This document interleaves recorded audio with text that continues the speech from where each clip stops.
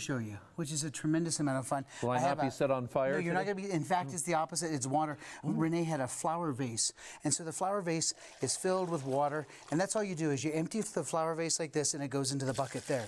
Now, the coolest thing that happens with water is that you get this thing called evaporation and precip- condensation, precipitation, and the darn thing comes back. Is that kind of Get fun how that works? But it's empty now, so thank goodness it's empty, and this goes into the bucket. You know what you're thinking because you're thinking the same thing I'm thinking. Yeah. right? Yeah, here we go. Here it comes. Is that fun? That is so you phenomenal. Just, this just goes on and on and on. I was just thinking during your news bits, you could just kind of do this in between stories. Wouldn't it be fun?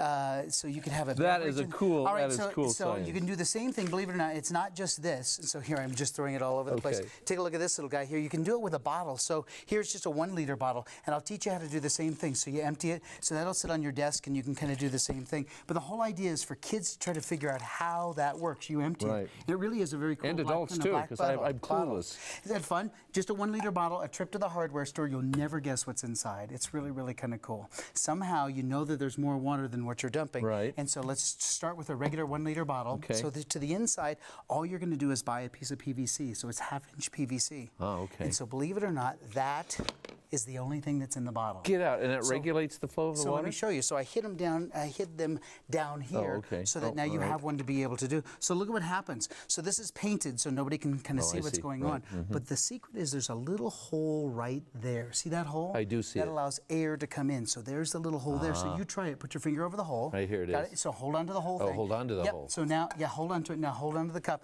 And so now pour it, and it's only what's in the tube. So here, try it. Good job. So turn it upside Ah, down. only what's in the Look at that. Is that good? Now when you turn it over, take your finger off the hole. Now the air comes in, and the tube fills back up again. Oh, you have to put Oh, I see. the So the tube fills back up, See and then I put my finger on the hole Yeah. again. So years Ah. ago, I think um, magicians years ago called it a pour more because you could always pour more. But it's one That of those black boxes. genius. So I have to look into the camera and say, now if you see the secret and how to do this, do not tell them how to do it right away. I mean, you just have to you have to play it a little bit and let them think because they're going to come up with the most creative answers. We've had kids say there's water balloons inside and there's a needle, and every time you turn it over, it pops. And I thought that you would like that today. we love that.